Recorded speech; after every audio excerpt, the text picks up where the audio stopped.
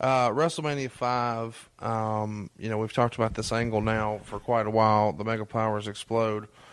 Between four and five, were you just working television production, or were you involved in the creative writing aspect of the show at that point?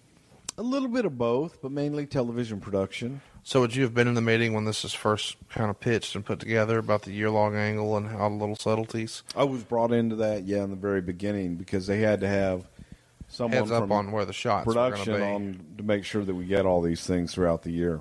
Was Kevin Dunn in those meetings? No, So you would relay that to Kevin Dunn and his crew in the truck? yes, sir. Okay. Well, man, I appreciate. Uh, oh, WrestleMania five. Uh, you got a talent payoff. What was it? A hell of a payoff. Five digits. Yes, Okay. Cool. It was very cool. It was the biggest payoff I've ever had. No royalties though. No royalties, Didn't need them after but that. a hell of a payoff. A hell of a payday.